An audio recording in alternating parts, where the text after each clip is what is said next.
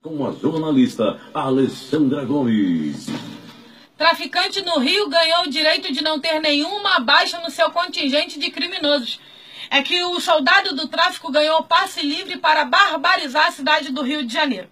O Ministério Público, Defensoria Pública, Procuradoria do Estado e Departamento Geral de Ações Socioeducativas, alegando medida para resolver o problema de superlotação nas casas de internação de menores infratores, garantiram que os traficantes e chefes de facções não sofrerão nenhuma baixa em seu contingente de bandidos é que a partir de agora, os menores infratores, peças importantes no mundo da bandidagem para os líderes de facções, receberão pontos de acordo com os delitos que cometerem. E a soma de seus crimes determinarão se eles serão ou não apreendidos.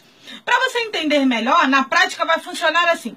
Aqueles trombadinhas que agem em bando barbarizando os trabalhadores, idosos, estudantes, nas ruas puxando cordão do pescoço, roubando bolsa e ameaçando com faca, pistola e até fuzil para roubar celular, não irão mais ser recolhidos para as casas de recuperação. Segundo essas entidades, esse tipo de crime equivale apenas a 10 pontos numa tabela que vai até 50 e não é suficiente para que eles sejam apreendidos. Talvez você esteja se perguntando, mas então o que é que vai acontecer com eles? Nada. Depois de roubarem tua bolsa, puxarem o teu cordão, eles simplesmente vão correr um pouquinho mais à frente para esperar a próxima vítima.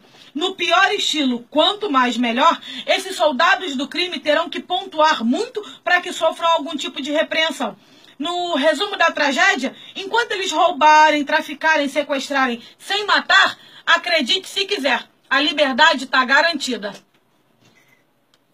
Governo confirma sua incompetência administrativa para nossa segurança. E tá aí, ó.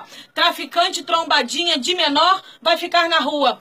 Indignado com essa situação, leia tudo o que está acontecendo aqui no seu jornal Nação Brasil.